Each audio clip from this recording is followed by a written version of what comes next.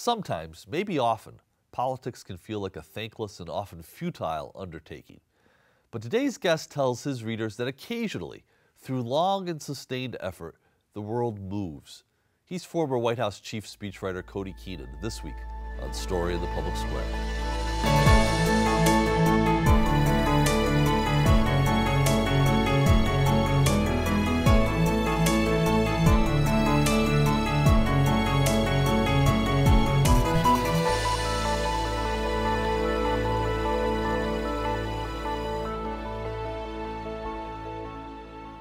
Welcome to Story in the Public Square, where storytelling meets public affairs. I'm Jim Ludes from the Pell Center at Salve Regina University. And I'm G. Wayne Miller with the Providence Journal. This week we're joined by Cody Keenan, a former chief White House speechwriter for President Barack Obama. He's the author now of Grace, President Obama in 10 Days in the Battle for America. Cody, thank you so much for being with us today. It's so nice to be with you guys. And I have to tell you, congratulations on Grace. This is a, a, a tremendously powerful, uh, enthralling account of 10 really critical days in the Obama presidency. Uh, I told you before we started, it made me cry more than once, and I just really wanted to congratulate you on it. For the audience who hasn't read it yet, uh, tell us what is the book about? Sure, it's like you said, it's about 10 days. Uh, and I'd argue that there are 10 consequential days, not just for the Obama presidency, but more importantly for America and you know when i when i remind friends what happened in these 10 days they're like my god i knew all that stuff happened but i didn't know it was just 10 days. You know there were 10 days in june 2015 uh, they began with the mass shooting in charleston south carolina where uh, white nationalists killed a bunch of black people in their church. Um, and you know inside the white house we're learning this in real time like everybody else. And there was kind of this general sense that you know this is worse than the rest. Something could really kind of go off the rails here. Um, but as the days started progressing, you know, the, the, the families of the victims forgave the killer, which really kind of created space in America for it was like something we'd never seen before for kind of like this open debate and and and uh, you know the Confederate flag started coming down around public spaces in the South, and people were talking more openly and honestly about race than usual.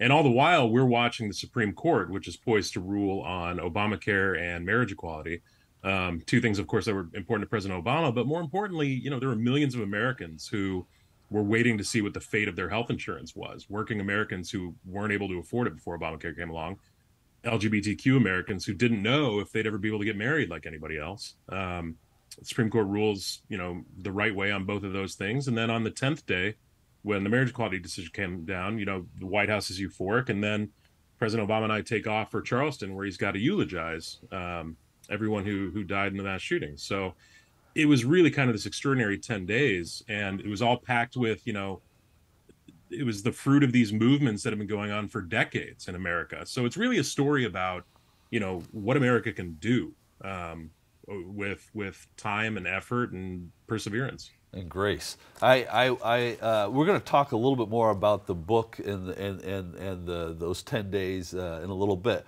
But I want to I want to pick up on something you just said. You talked about so so much of uh, popular parlance about Washington these days is that people in Washington are out of touch. But you just talked about being sensitive to the impact that those Supreme Court decisions would have on millions of Americans around the world. How mindful were you of that greater um, impact of policies, of decisions by the courts, of things going through Congress? How real does that feel to you when you're working inside the White House? it's more real than anything. And I understand that cynical impulse. You know, there were I remember reading a bunch of headlines that week that, you know, such and such would be a win for Obama or a loss for Obama. And that's often the way that the political media looks at things, but we didn't look at things that way. You know, we knew partially because we we read their letters every night, you know, the thousands of Americans who'd write letters to President Obama, what Obamacare meant to a family that wasn't able to afford health insurance for, what marriage equality might mean to two people that had been together for decades and didn't weren't able to see their marriage realized depending on which state they lived in. I mean, these are the people we were always thinking about. That's why we do the job. And I know it can sound kind of, you know, trite and cliche, but we didn't go to Washington. And by we, I mean everyone who joined the Obama campaign to make a name for ourselves or to climb the rungs or to advance one man's legacy. We went because there were things we wanted to do. You know, we went because we believed that politics is this common endeavor where we can dive in and make this country better you know as each generation goes along and then one of the themes of the book is that the whole story of America is a story of progress and backlash to that progress. And the progress only comes when enough people get in and push. So, Cody, where did your interest in public service come from? I mean, you, like like anyone, you could have gone in any number of directions. You went in this direction. Give us a little of your, your personal journey, what attracted you to public service and, and your commitment to it. You know, my earliest political memories were uh, my parents bickering at the dining table. You know, we were big, we were big newspaper subscribers. We got the Chicago Tribune, so I, you know, you, you kind of you, you awaken by looking at the headlines each day over years. And and my dad was kind of an old school California Reagan Republican that the kind of Republican that is sort of endangered these days. He's now uh, a Democrat. Um, my mom was a big liberal. You know, she she volunteered on Ted Kennedy's campaign in in 1980 and on the McGovern campaign before that. Um, but neither of them had worked in politics. But but listening to them kind of bicker about it really sort of woke me up to it. And in college, I'll admit I started pre med in college, uh, like a lot of people, and uh, like a lot of people, chemistry weeded me out. Yeah, biochemistry, no good, no good. I didn't even get there. but in in college, you know, I noticed once I once I decided pre med wasn't for me, I had been taking a bunch of political science courses on the side, and I was like, this is clearly what I want to do. And after college, I moved to Washington. I found a job working for Ted Kennedy. Um, it had nothing to do with my mother's time on his campaign decades before. And that's where I learned to get back to your first question. My first job was mailroom intern, and I was reading and routing letters from just ordinary Americans who'd write into the center, both because they were constituents who needed help with a specific issue, but even more often, people from around the country who were desperate and were hoping that the last Kennedy brother um, could help them. And that really opens your eyes. You know, Pol- The West Wing was a popular TV show when I entered public service, but you, you realize it's not like this at all. It's not dramatic. It's not quick. It's not sexy walk and talks. You know, a lot of people in politics aren't that attractive. Um, but reading all these letters, you start to see what this is really all about. And then to watch someone like Senator Kennedy, you know, really work hard to pass bills that would help people's lives and stay in touch. And it, that changed me in a profound way. And then I saw President Obama come along, someone who saw politics in the same way. And I knew that that's, that's the guy I wanted to work for. So how, so how did you get to work in the White House for Barack Obama? Did you know him uh, before he was elected? I did not. No, I, I I'd spent a few years after college, you know, like I said, I'm a Chicagoan, but I'd spent a few years immersing myself in Massachusetts politics because I was working for Ted Kennedy. And, you know, here's this guy, Barack Obama, who's a rising star in Chicago. And I uh, randomly, you know, when I worked for Senator Kennedy, the Boston, the Democratic National Convention was in Boston in 2004. And we were all allowed to go up and volunteer for the week. We had to take time off work to keep uh, business and politics separate. But our reward was a floor pass to one night of the convention and I just randomly happened to be on the floor of the convention in the Fleet Center in Boston the night that uh, State Senator Barack Obama, you know, takes the stage largely anonymous and leaves a global megastar. Um, that's when I first got interested in speech writing and interested in him, and I started writing some speeches for Ted Kennedy um, in the Senate. And a mutual friend connected me with Jon Favreau, who was Senator Obama's speechwriter at the time, and he hired me as an intern early in 2007 on the campaign and i just i was too stubborn to leave so i hung on for the next 14 years. That's tremendous. You know uh, cody you mentioned the west wing and i think that for a lot of americans their understanding of presidential speechwriting is through the eyes and lens of either toby ziegler or sam seaborn. Uh, what's the reality of being a presidential speechwriter uh, it's not like that at all. Um, you know, so by the time I left the White House, I became chief speechwriter in the second term. I had a team of eight, uh, and they were just eight, you know, extraordinary writers and extraordinary people. And we wouldn't collaborate on speeches really because we found it slowed us down. But we'd we'd meet every morning. We'd talk about what speeches are coming up. We'd kind of claim the ones that we cared about most. And it's a it's a solitary endeavor most of the time. You're sitting at your computer, you know, trying to find the right words, uh, the right themes, the right ideas, the right stories and that's what I love about it. I mean, you, you have to be precise with your language when you're president of the United States. Um, your words can move markets, they can move armies, uh, but they can also move people to a cause, to believe in something, to care. And it's a really incredible gift to have a captive audience, whoever you are. And that's not something President Obama ever put to waste. So he was also, it was a solitary endeavor for us, but he was also very involved in each speech from the beginning, brainstorming sessions to line editing late at night before the speech. You know, we'd often come in at 7 a.m. the day of a speech and get his edits back, and he just marked up the thing like crazy, because um, he cared. I mean, he's he was a writer. You know, he'll, he'll he reminds me to this day that he wrote that uh, Boston speech by himself. A tremendous speech. Uh, so so you know specifically, what's it like to work for? Uh, so you know, Barack Obama, I think, is probably uh, generally recognized, whether you like his politics or not, as maybe the greatest American political orator in at least a generation. Um, and he did write that speech, and he did write a couple of best-selling books. What's it like to be the speechwriter for a guy who just himself can flat out write? Uh, it's a wonderful struggle. It's, it's great and it's terrible. You know, it's it's great to write for a writer because uh, you know he'll be there to help you take the speech to a higher place. It's terrible because you'll kill yourself to get him a, a, great first draft that you know he'll be happy with that he can work with um, so it's kind of it's kind of both ends of the spectrum I mean there are plenty of all-nighters in the white house where i'd agonize over some certain speech just to get it to him and get it in a place where he could work on it and be happy and then you watch him in a fraction of the time uh, take it somewhere better. But he was always good about reminding us you know when we were down about it that what we gave him was something good enough to work with. Um, it was only it was only truly a failure if he sent the entire thing back to you without any edits and said let's start over. So did that happen very often? I mean i, I can't imagine how uh, happy you would be getting start over you know please this didn't work.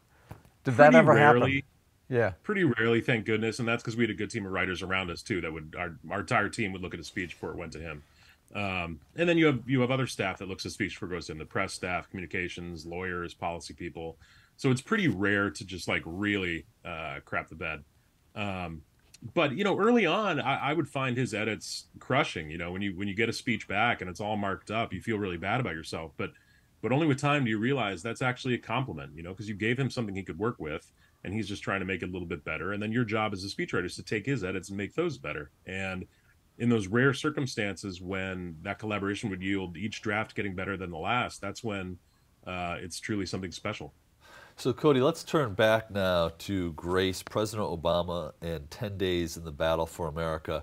You outlined the sort of the, the, the, the major moments uh, in those 10 days the mass shooting at the church in Charleston, South Carolina, the two Supreme Court decisions, President Obama's eulogy in Charleston at the end of those 10 days. Uh, one of the things that you, uh, that, you, that, you, that you talk about in the book is President Obama had a number of mass shootings in his presidency. Uh, and after Newtown, you write that he didn't want to give eulogies for mass shooting victims anymore because it just seemed like there wasn't anything left to say. Um, what do you think ultimately convinced him that he needed to say something in Charleston? Yeah, I remember that day in 2013 when he it was the angriest and most cynical I'd ever seen him when Republicans in the Senate blocked background checks and this was after the mass shooting in Newtown where 20 little kids were murdered in their classroom along with, you know, six of the educators who were trying to protect them. And we'd been through a bunch of these mass shootings where there's this cycle of kind of finger pointing and you know Republicans trying to blame anything else and then finally Obama comes in and gives a eulogy and everybody kind of moves on and he wanted to break that cycle. You know, we, we, I personally felt like it wasn't his job to go out and absolve America of our collective sin, not to do something every time this happened. So when Republicans voted down background checks, he said, "I don't want to do this anymore." You know, what do I do? I just keep coming out and eulogizing a bunch of Americans we've lost because we weren't going to do anything about this. Um, we knew that couldn't stand. You know, as commander in chief, he had to go give a couple eulogies after two more mass shootings on and one on a Navy base, one on an Army base and then Charleston happens, um, and we still had that debate over whether or not he should speak at all. And at first, he didn't want to for the same reason. But then we watched these families uh, who had lost, you know, people who had lost parents and grandparents and children forgive the killer one by one in open court on television. And that was something that I couldn't do. I was watching it with my mouth open. You know, I, I don't think I could forgive somebody who had done that to someone and I loved. And it was this act of grace that you know President Obama said, when you're familiar with the AME Church, uh, this will make sense to you. And he said, you know, as he progressed through that week, he said, you know, I, I still don't want to speak, but I do want to go down there to the service and hug those families. And just as the week went along, we decided, okay, let's do it. Um, but it was really him who kind of opened up the floodgates into something special. You know, I struggled with the eulogy for a few days, trying to work everything into it. You know, we, we were we were talking about race and guns and the Confederate flag and all these kind of potent things in America that we just hadn't dealt with over the centuries. And he took the theme of Amazing Grace, tied it all together, and you know, we were already kind of happy from that morning's ruling on marriage equality. Um, and he tells me on the way to Charleston, you know, if it feels right, I might sing it, Amazing Grace. And then we go give this eulogy and come back, and the the, the coda to that day, to those ten days, was the White House lit up in all the colors of the rainbow. You know, a symbolic gesture to show the world that in America everybody's welcome. And it was just, it was extraordinary that all these things happened in a 10 day span. Um, and I don't even think I processed it at the time. You know, t- two years later, I, I, did a little tweet storm on the anniversary because by then we were living in sort of a, the opposite of politics and, and people really gravitated to it. And that was the first time I thought, you know, there's a, there's a book here and I want to get this down so that, you know, my daughter, my baby daughter reads it someday and sees what America is capable of. So, Cody, you mentioned marriage equality as one of these uh, monumental events. It was recognized by the Supreme Court.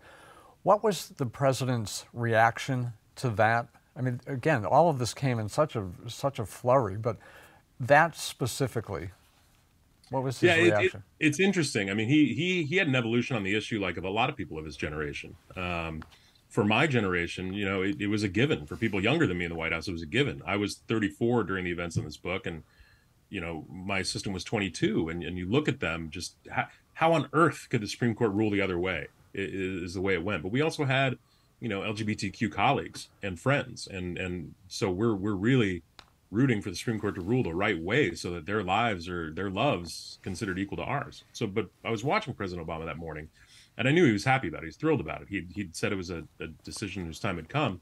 But I'm watching him give the speech that morning uh, that we wrote for him, my team and I. Um, a young woman named Sarah Perry drafted it, and he was speaking even slower than usual. And he's a pretty slow speaker in general.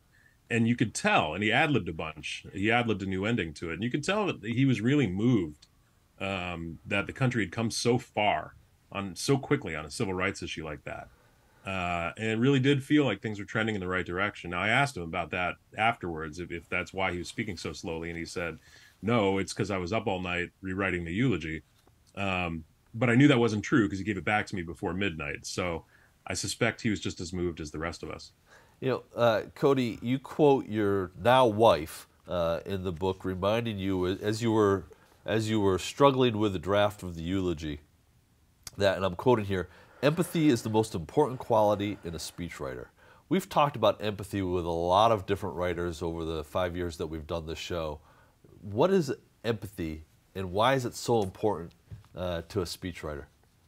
Yeah, it's vital. I mean, maybe the most important thing about speechwriting is being able to string a sentence together, but but empathy is critical in that you want to understand other people and their lives and what they're going through. You know, the president of the United States speaks to every kind of audience there is and you want to give them some sense that he understands their lives their struggles you know even if even if you haven't um, and let's be honest anybody that works in the white house has walked a more privileged path than most americans. It's just the way it works you know and, and hopefully it's changing a little but um, so i can't possibly know for example you know what an lgbtq person had been going through you know knowing that in much of the country they're they wouldn't be able to get married and what that feels like and what the the anticipation of that ruling feels like. So you do your best to put yourself into somebody's shoes. You know I, would always had health care whether it was through my parents or during college or through you know jobs afterwards what's it like to not have it and be terrified that one illness or accident could lead to financial ruin so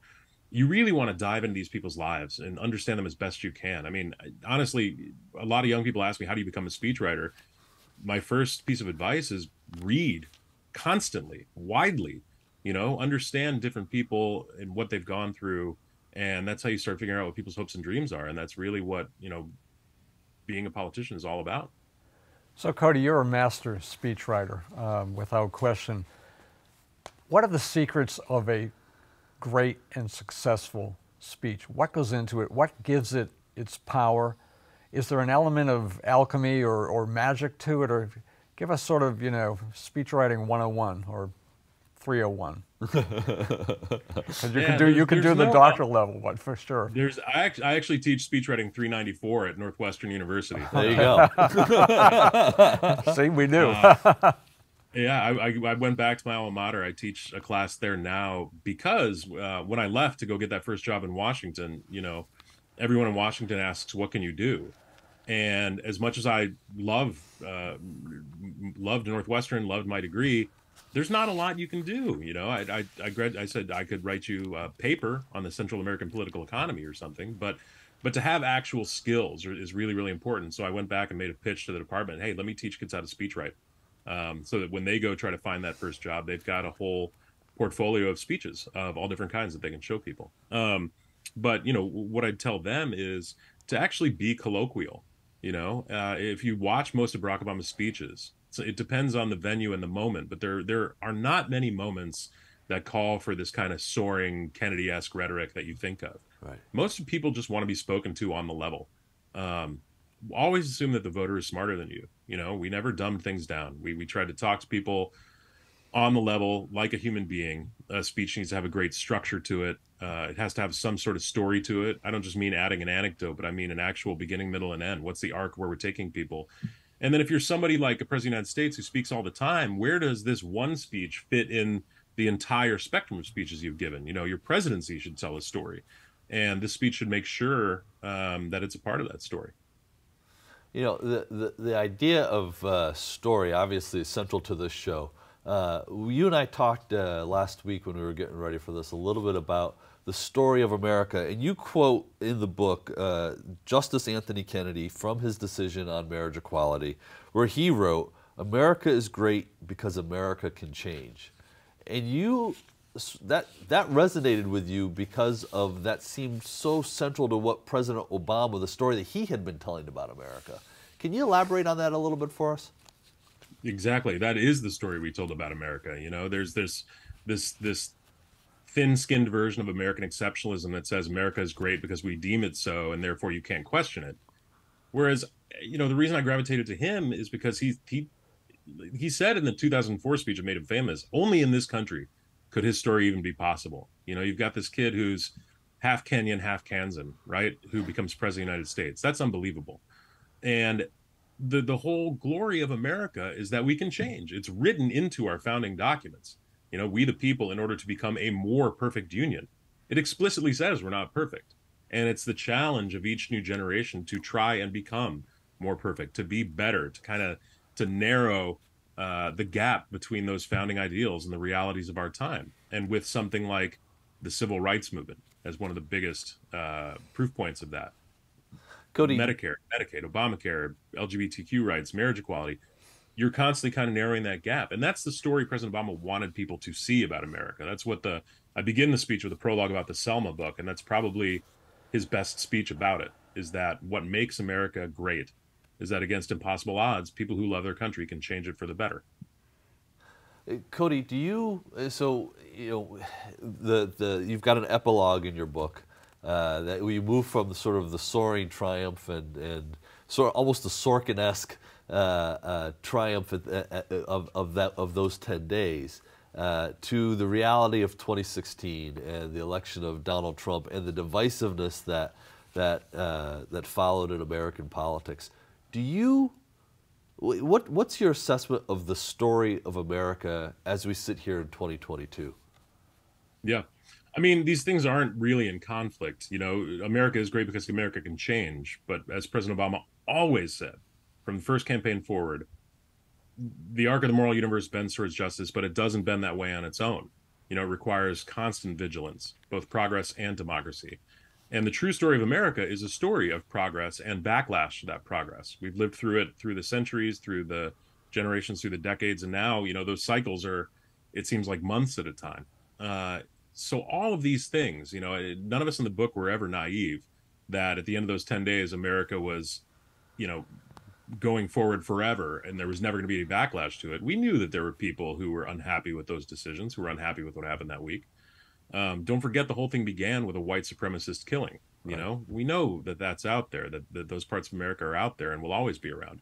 But progress and its defense requires constant vigilance, constant voting, constant participation. You never get to take a break. You know, even marriage equality now is not set in stone. You've got justices on the bench saying they're going to take a look at that and maybe undo that and take away marriage rights from American people. I mean, all this stuff is up for grabs uh, in a way that it hasn't been in my lifetime. You know, older Americans would say, "Yeah, I've seen it worse." Um, but progress requires us to constantly pay attention. You know, that overturning Roe, for example, people were working on that for 50 years, yeah.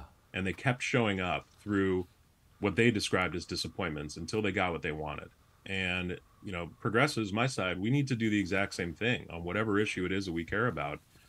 Keep showing up until we get that victory. I mean, it was really rare that we got those victories in that same tiny stretch of time in this book. That's just a coincidence. But it's like Barack Obama said in in his speech after the marriage equality decision. You know, progress takes a long time, tons of work, persistent, dedicated effort. But then some days there are days like this when justice comes down like a thunderbolt. It's rare. You know, it required 50 years of effort just to get that one ruling, but it, it's worth it and then you you protect that victory and you go get the next one. Cody, this is a, just a tremendous uh, accomplishment. Grace, President Obama in 10 days in the Battle of America. Thank you so much for being with us, and thank you so much for telling this story. That is, really that's all the time we have this week. But if you want to know more about Story in the Public Square, you can find us on Facebook and Twitter, or visit pellcenter.org, where you can always catch up on previous episodes. For G. Wayne Miller, I'm Jim Ludes, asking you to join us again next time for more story in the public square.